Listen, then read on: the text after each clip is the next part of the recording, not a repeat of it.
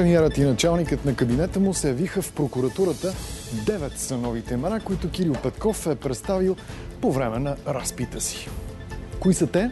Подробностите следват и още в посвета и у нас.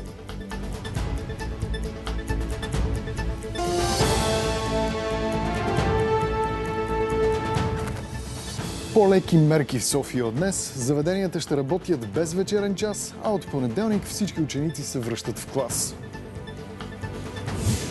Испания изпраща в България 130 военнослужащи и 4 изтребителя. Целта – съвместно изпълнение на мисията по охрана на въздушното ни пространство. Триумф за Адел на церемонията по връчване на наградите Брит. Не мога да повярвам, че балада с инструментална пиано спечели срещу толкова много готини песни. Благодаря ви!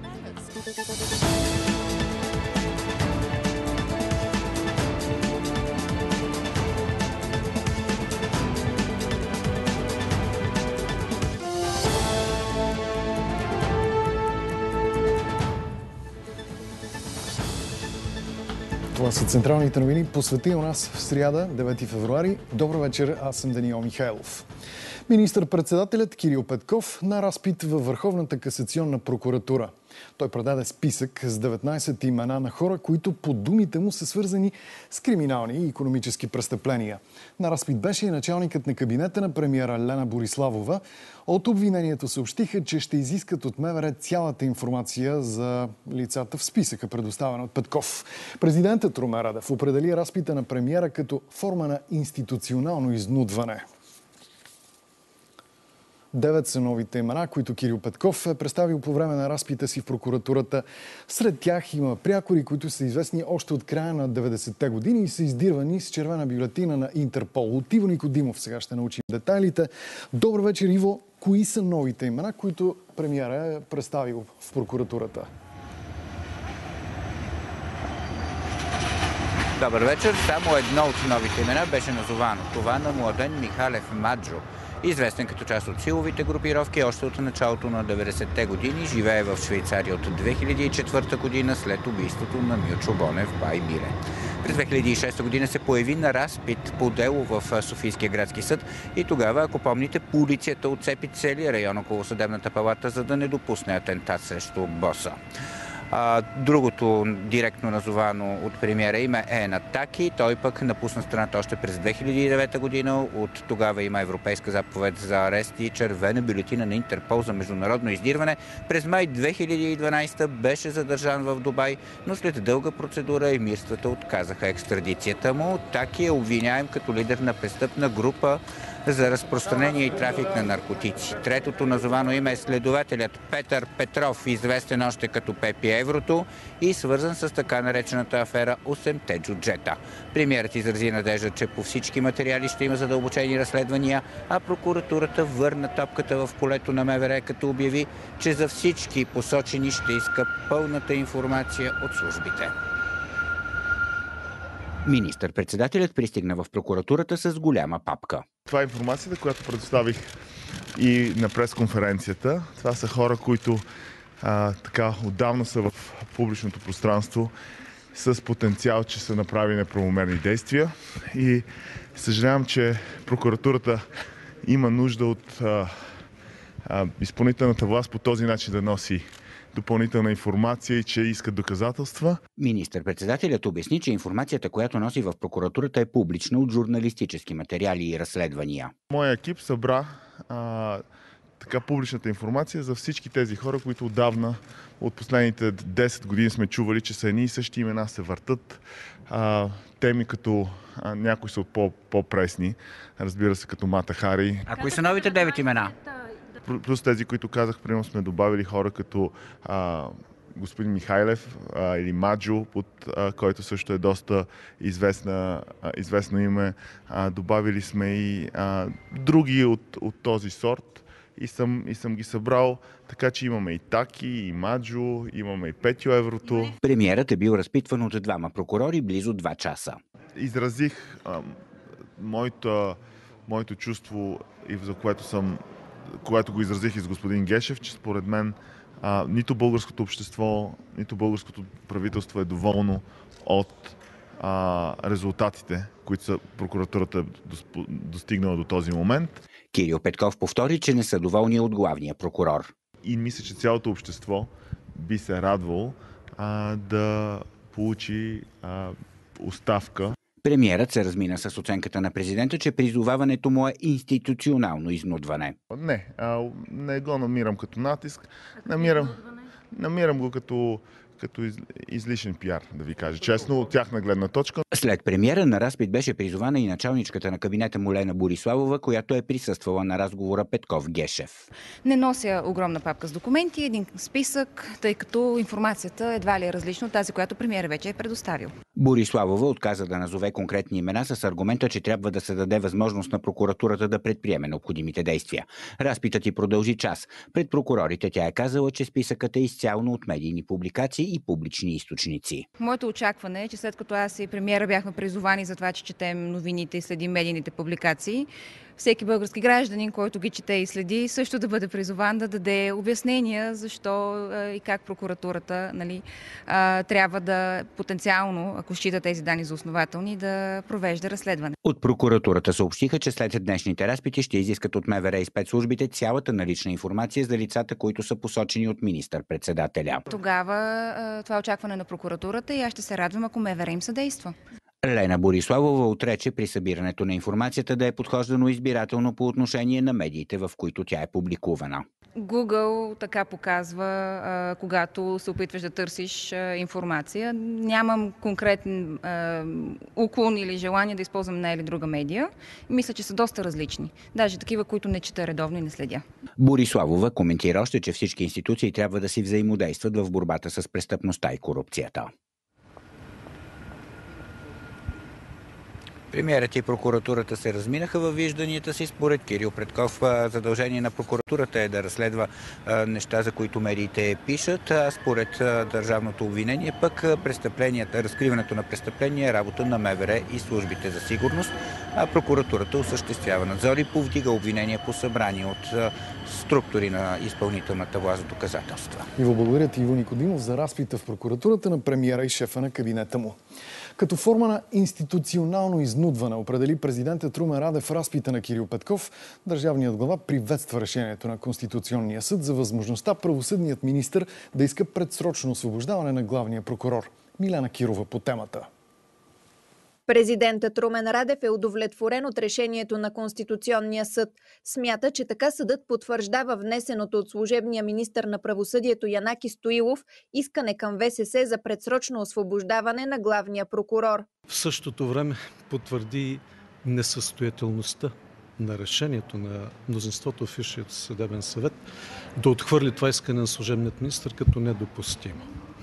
Сега остава въпроса дали е пригодно това мнозинство в Висшият съдебен съвет в морално и в професионално качество. И аз съм песимист в този състав Висшият съдебен съвет да вземе рационално решение.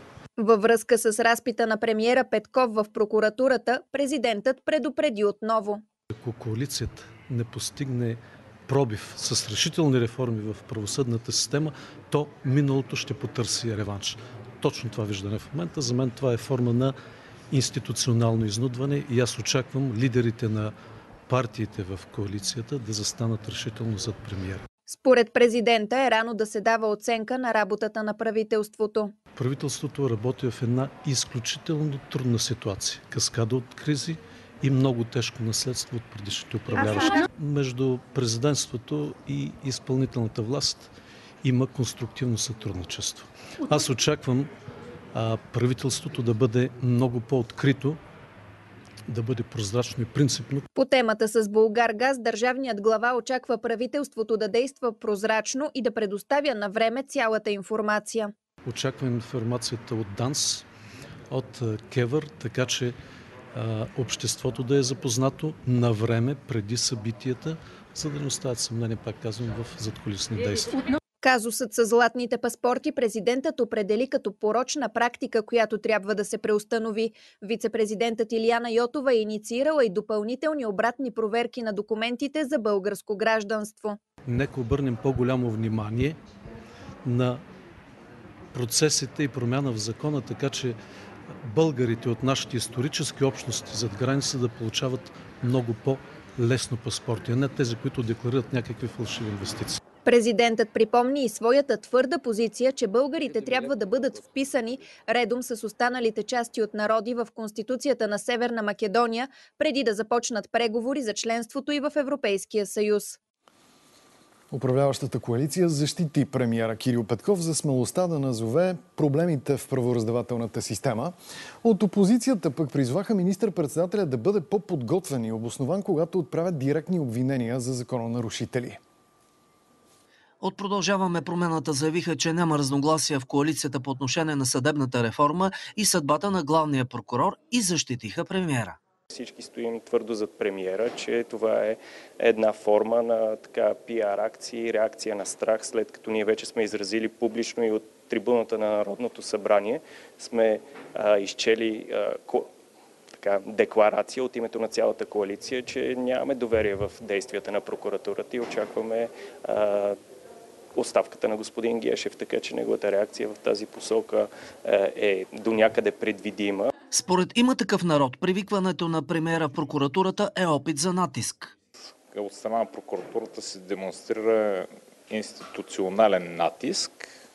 Не знам защо го правят. Може би продължава господин Гешев да си мисли, че е недосегаем, но съм убеден, че с последователност и с идеите, които имаме ние като коалиционно правителство за съдебна реформа, дните на този главен прокурор са преброени според нас. А според Демократична България Гешев е показал слабост. Господин Гешев очевидно се е самозабравил и проявява определена слабост в момента. А, не бих а, искал да предполагам, че това е нещо различно. От ГЕРБ СДС не видяха нищо драматично, че прокуратурата е поискала обяснение по изявление на премиера, след като на негово директно подчинение са всички служби натоварени със събиране на доказателства. Те не го викат на разпит, доколкото разбирам, а го викат да, за нещо, за което той трябваше дори без да го викат да отиде там и да предостави тези доказателства. За мен би било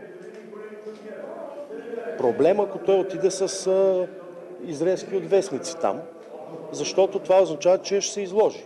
Сега ние може да му опозиция, но и за нас не е приятно българския премьер се излага. От ДПС бяха озадачени кой кого ще разпитва, след като премиерът заяви, че също е подготвил въпроси към прокуратурата. Леко съм объркан. Държава, която си има цар, сигурно царя да разпитва. Нямам идея. Най-вероятно царя има такива правомощия в някои държави. Обърнете се към цар Киро. А лидерът на Възраждане призова Кирил Петков да бъде по-решителен и подготвен, когато назовава проблемите в правораздавателната система. Тук говорим за това дали действително прокуратурата е организирана престъпна група или не е, защото това са двете версии, които в момента се коментират. Единствено от левицата се въздържаха от коментари. ДПС настоява прокуратурата да разпита правосъдния министр Надежда Йорданова заради твърдението и за обвързаност на движението с издаването на зелените паспорти, на златните паспорти. Лидерът на ДПС Мустафа Карадайя обвини финансовия министр Асен Василев, че упражнява неправомерен натиск върху НАП с искането за ревизия на Делян Пеевски. Нито ДПС, нито кой да е народен представител от ДПС, нито кой да е член от ДПС има каквато и да е връзка с така наречените златни паспорти, нито има адвокатска кантора, която се занимава с придобиване на българско гражданство по реда на златните паспорти. Настояваме прокуратурата да разпита министър Уданова. Тук става въпрос за закана за неправомерен натиск на служителите на Национална агенция за приходи. За Асен Василев мога да кажа, че заставането му в услуга на олигарха и медийния монополист и изобщо на олигархията неименуемо ще доведе до неговия провал, а може да доведе и до провала на цялото правителство. Председателят на групата на Европейската народна партия в Европарламента Манфред Вебер се срещна днес в Брюксел с членове на ГЕРБ Кърджали, които бяха задържани по време на последната предизборна кампания, а административният съд в града отмени заповедите им за задържане. В срещата участваха още Цвета Караянчева и евродепутатите Андрей Ковачев, Андрей Новаков и Асима Демов. От ГЕРБ Кърджали са заявили пред Вебер, че са били, цитирам, арестувани по-късно пред съгражданите си, без да са извършили никакви нарушения и вследствие единствено на анонимни доноси. Разтревожени сме от развитието на ситуацията в България. Очевидно е, че нещата не са под пълен контрол и затова Европейският съюз трябва да се вгледа отблизо в действията на новите управляващи в България. Когато вече имаме резултатите от един случай, който показва, че те не се занимават с нещата по честен и коректен начин, то това е много сериозен аргумент. Ние сме тук, за да не да се оплакваме на чужденците, защото някой може да каже, че а, така фразата, която беше казал Петко Славейков, че в България не бият. Не, ние сме тук, за да информираме Европейската общност, като членове на Европейския съюз, че европейски граждани някъде в България биват репресирани, демокрацията е в опасност, човешките права са нарушени и трябва да се спазва върховенството на закона. COVID темата сега разхлабват мерките в София. Това обяви областния управител на столицата Иван Кючуков. Кои и от кога? Ще разберем сега от Карина Караниотова. Добър вечер, Кари. Да, точно така. Някои от мерките в София падат, поне за сега, съобщиха днес от регионалния щаб. Всички ученици в София ще могат да се върнат присъствено в клас от понеделник. Като условието е, както до сега, или веднъж седмично да си правят тест за коронавирус, или да имат зелен сертификат. Ако обаче заболеваемостта отново се увеличи, от щаба си запазват правото да върнат мерките и учениците отново да се върнат онлайн. 14 февруари се възстановяват и всички планови операции.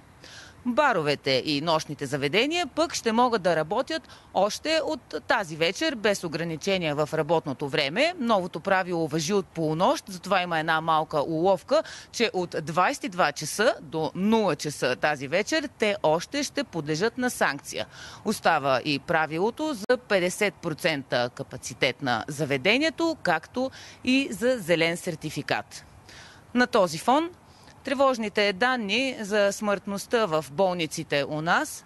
Всеки трети пациент с COVID в Пирогов и в болницата в Добрич е починал.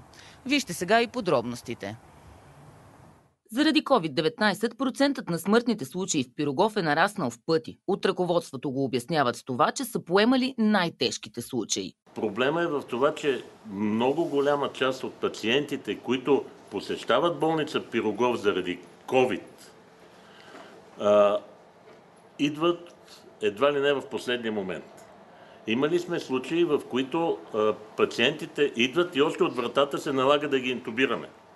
543 пациенти с COVID са лекувани в реанимацията на Пирогов по време на третата и четвъртата вълна на пандемията. Сега са заети доста по-малко интензивни легла. Болницата в Добрич също попадна в черната класация на лечебните заведения с най-висока смъртност при пациентите с COVID-19 – 33%. Сред тях е и 62 годишния баща на Невини Смет. В интензивно не е влизал, доколкото знам е бил с маска. Така са му подавали кислород. Не е бил на апаратно дишане. Докторката, която, с която разговарях, ми съобщи, че, което е доста грозно, че баща ми е доста неадекватен, а, агресивен и тя се страхувала да влезе при него. По-късно и съобщават, че баща й е починал. Невина убедена, че за него не са полагани грижи. Анатолий Тракийски е сред онези две трети спасени пациенти, за които нещата изглеждат различно. Напълно професионално се държаха с мен. Всички манипулации, които бяха нужни, постоянно под наблюдение, постоянно питаха как съм, как се чувствам. Според директора на болницата, основната причина за високата смъртност е, че единствено там има интензивен сектор. За тази пандемия от такъв мащаб не бих казал, че изобщо има екип на територията, не само национална, и на световно равнище, който да бъде максимално адекватно подготвен. Няма друга болница в региона. 100 човека, които са в тежко състояние, много трудно биха могли да бъдат адекватно обгрижени. И в Пирогов, и в болницата в Добрич казват, че високата смъртност от COVID се дължи и на ниския процент вакцинирани. Скандал в парламента. Депутатите избират председател на Комисията за енергийно и водно регулиране на мястото на Иван Иванов, чийто мандат изтече преди повече от година и половина. Единственият кандидат е досегашния заместник енергиен министр Станислав Тодоров, предложен от Продължаваме промяната. Защо се скараха депутатите, ще разберем сега от Николай Минков. Добър вечер, Ники. Добър вечер. Десети час продължава парламентарният маратон. А последните два часа бяха белязани от нестихващи скандали, именно заради единствената кандидатура в лицето на Станислав Тодоров.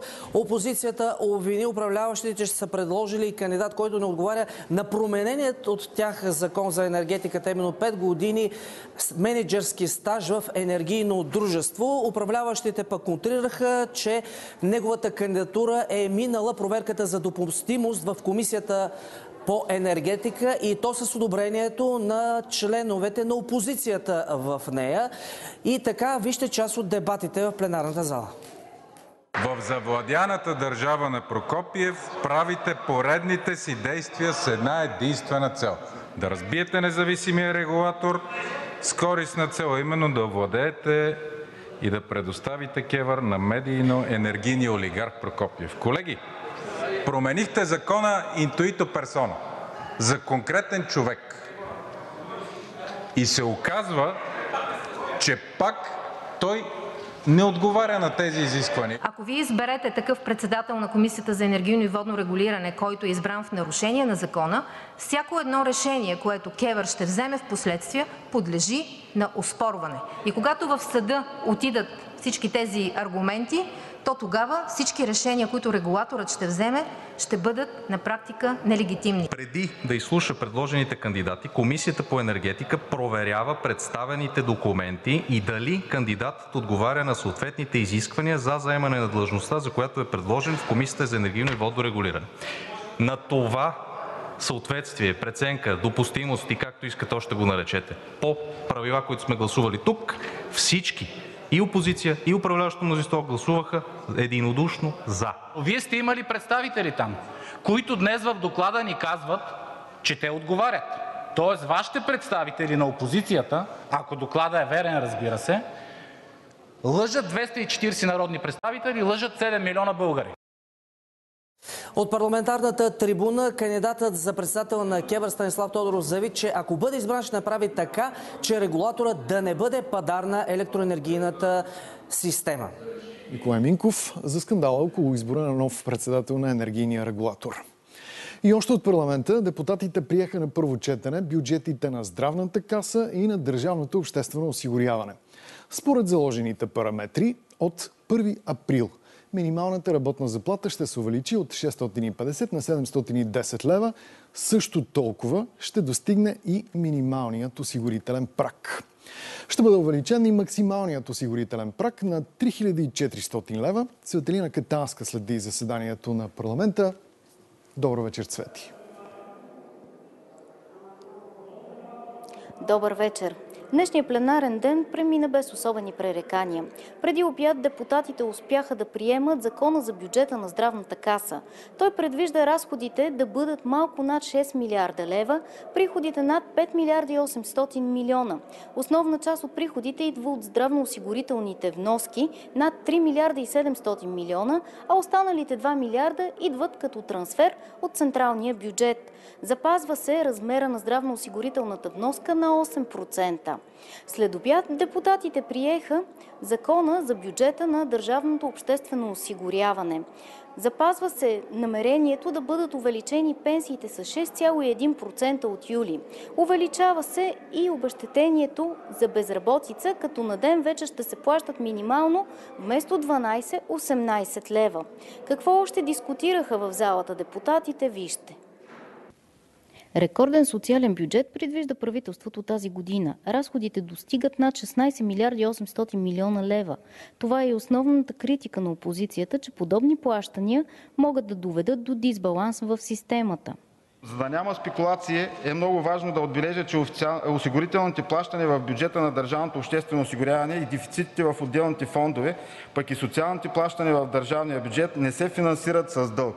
Въпреки това на дневен ред остава въпросът за дълготрайната финансова стабилност и самостоятелност на осигурителната система. Според ДПС обаче бюджета няма да изпълни основната си функция да подобри живота на хората.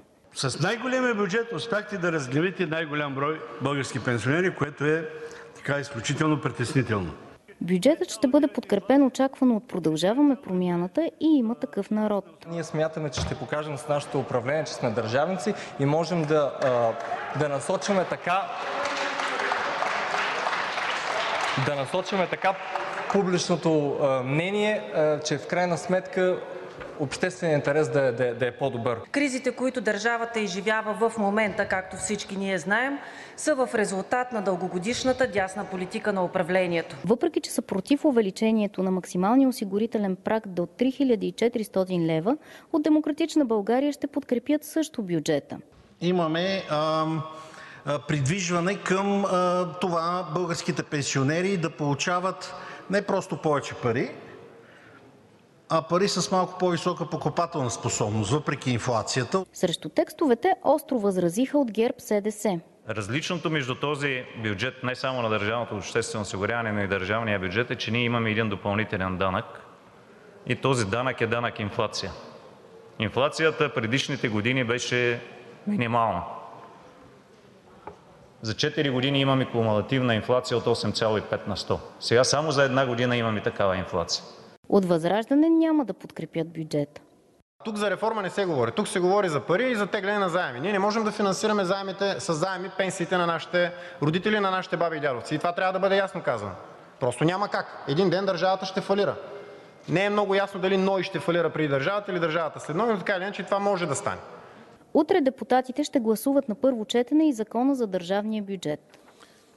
И като говорим за пари, за още 20 милиона лева в бюджета настоява Българската академия на науките, учените казват, че получават много по-низки заплати от университетските преподаватели, което по думите им е унизително.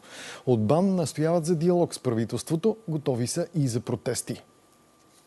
В Института по молекулярна биология към БАН средната възраст на учените е едва 35 години.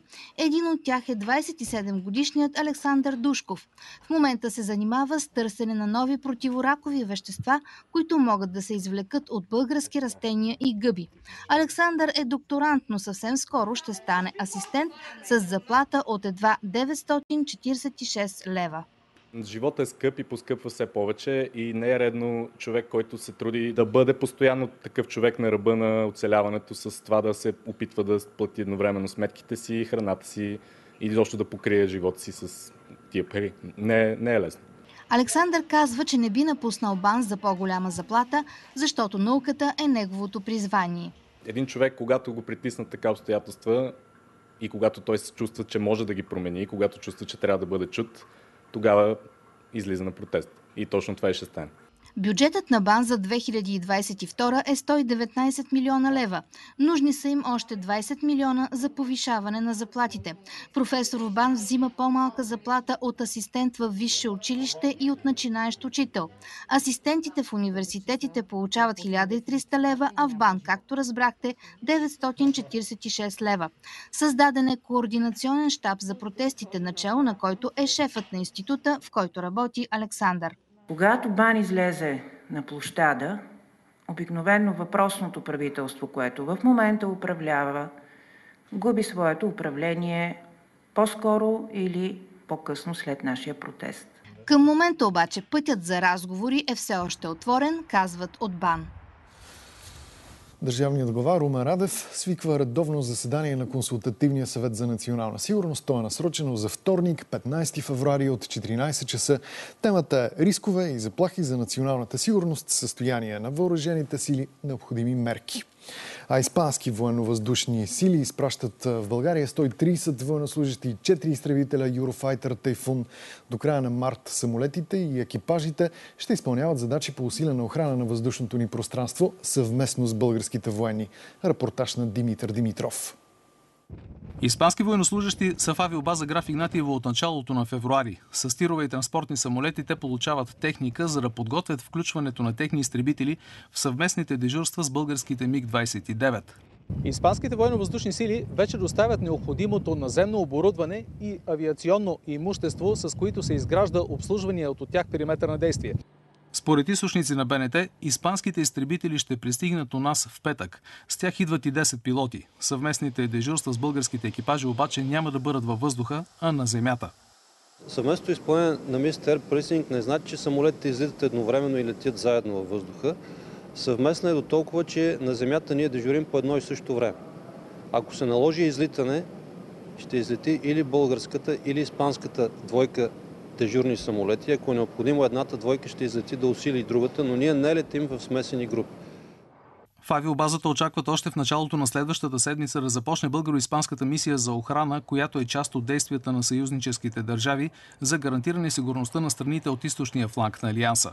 По думите на командира на авиобазата, до сега нарушител на българското въздушно пространство не е бил установен. В международното въздушно пространство летят всякакви самолети. Ние по нарушители на българското въздушно пространство никога не сме излитали. До тази година българските ВВС са изпълнявали съвместно задачи по Air Policing през 2014 и 2016 с екипажи от Съединените щати и през 2017 с военно-въздушните сили на Италия. Русия започна активната фаза на мащабни учения в Беларус, които по западни оценки може да се окажат нов фронт за потенциална агресия срещу Украина. Според НАТО в маневрите до 20 февруари ще се включат 30 000 военни специални части, самолети Су-35, противовъздушни системи С-400 и ракетни комплекси Искандър. Киев е на 90 км от най-близката точка на беларуската граница. В отговор и Украина започват 10-дневни учения край северната си граница с танкове, дронове и противотанкови системи, предоставени от НАТО. Шест руски бойни кораба навлизат от Средиземно в Черно море. Те са част от серия планирани военноморски учения в моретата около Русия и Световния океан с участието на общо 140 кораба и 10 000 военни. Дипломатическите ходове по кризата между Русия и Запада продължават след серията разговори на Емануел Макрон и Олаф Шолц с Москва, Киев и Вашингтон. Следва анализ на резултатите. На фона на кризата променили се животът на хората в граничните райони на Украина, от какво се страхуват и на какво се надяват. Отговорите следват. Тук в Октябрьски споменът от военните действия от 2014-2015 година не е избледнял, а неизменна част от живота на малцината останали.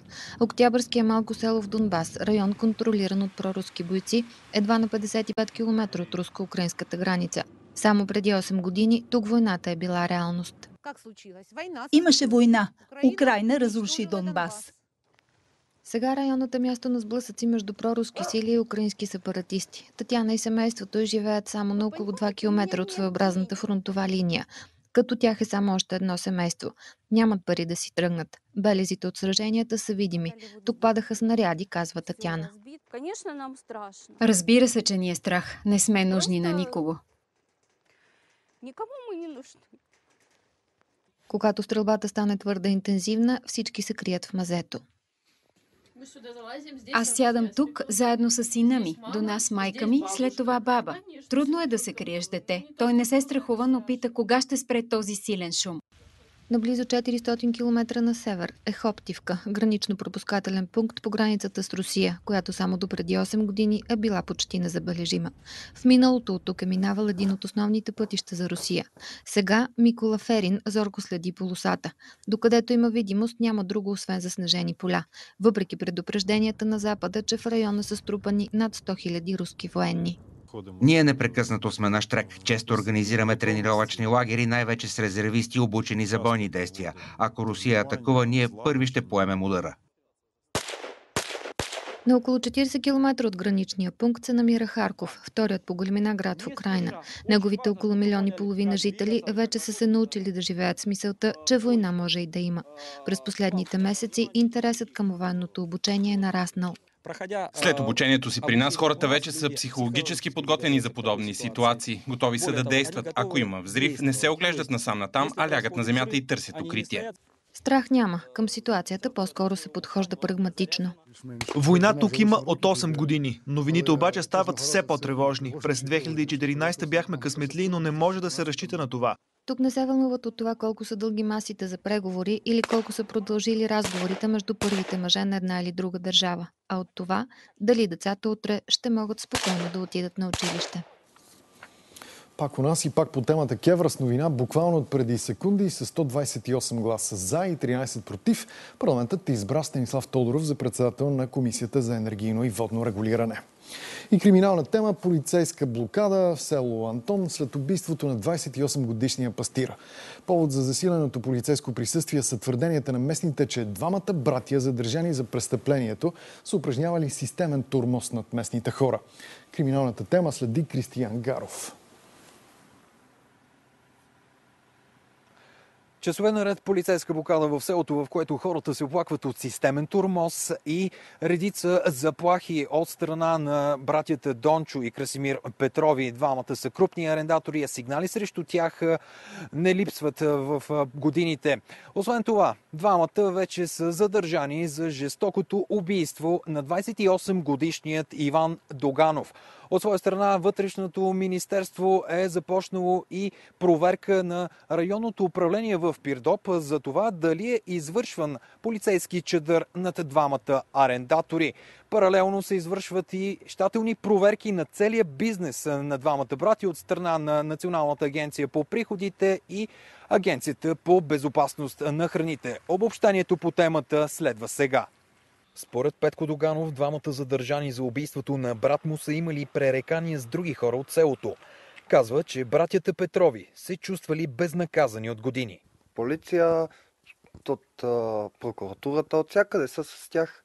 Всички са с тях.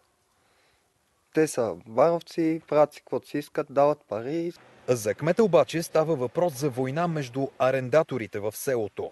Имало е конкретни оплаквания, жалби, но те са пак, пак ви казвам, това е един кръг от 7-8 човека, които воюват един помежду, помежду си и цялото това нещо някой път е на гърба на общината, но абсолютно всички жалби, които сме получавали, винаги сме препращали към прокуратура. Към... Красимир съм чул, че е агресивен. Стола са карал, Соня са карал. Стола са били, Соня са били. Какво е положението? Поначало се карат. Имаше и палежи преди години.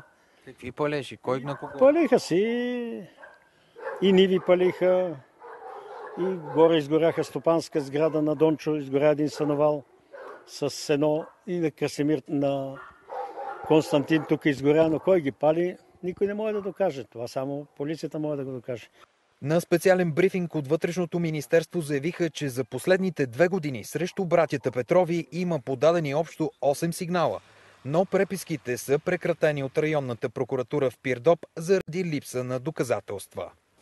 Тези сигнали са различни, както за хулигански прояви, за отправени заплахи, за имущество, което говорим конкретно за животни, които граждани заявяват, че са тяхни, визирайки ги, в, намирайки ги в тяхните стада.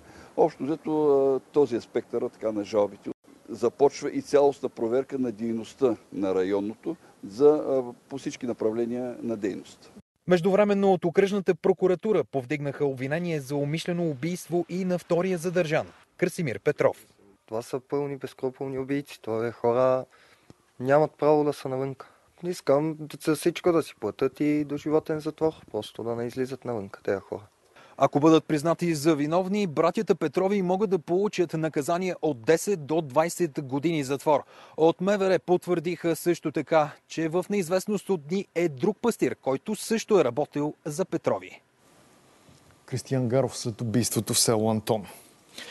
Българи и чужденци бяха задържани от ГДБОП и прокуратурата в София. Зрелищната акция се проведе в късния следобед на булевард България пред погледа на десетки шофьори и случайни минувачи. От МВР заявиха, че са задържани общо 4 души в момент на сключване на сделка за голямо количество амфетамини. Престъпната група се е занимавала с трафик и разпространение на наркотици. Задържаните с криминални регистрации в полицията.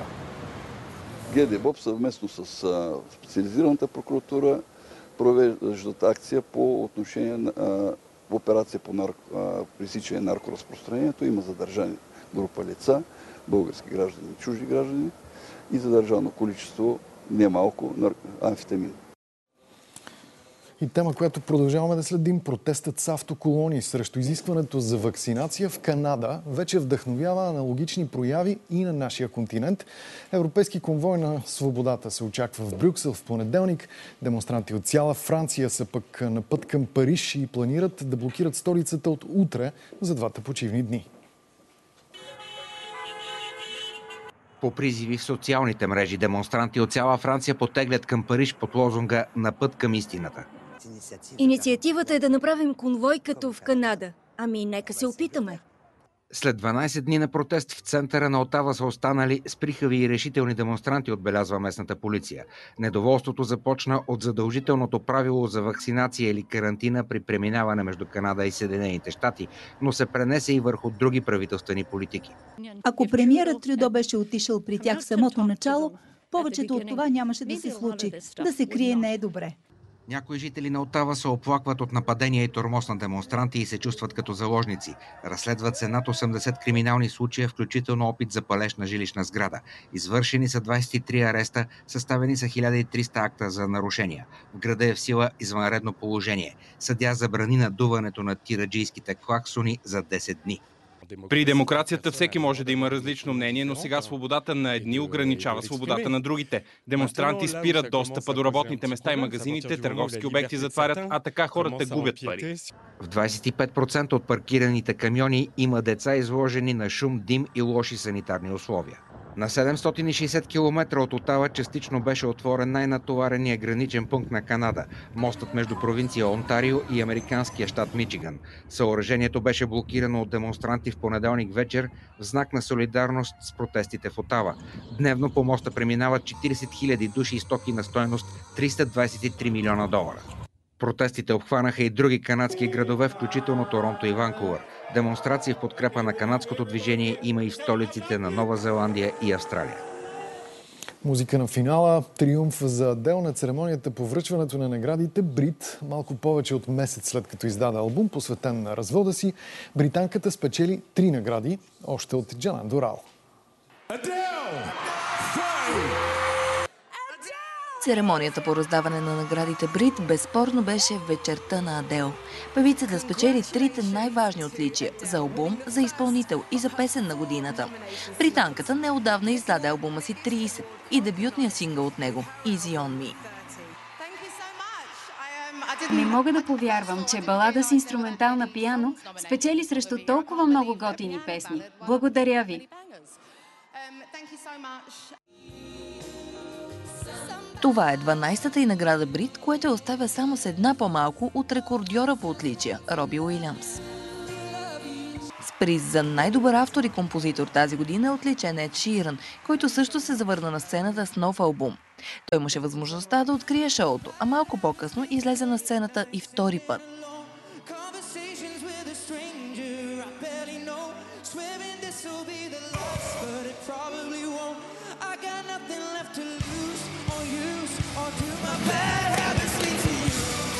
Най-добър R&B изпълнител пък е Дуа Липа.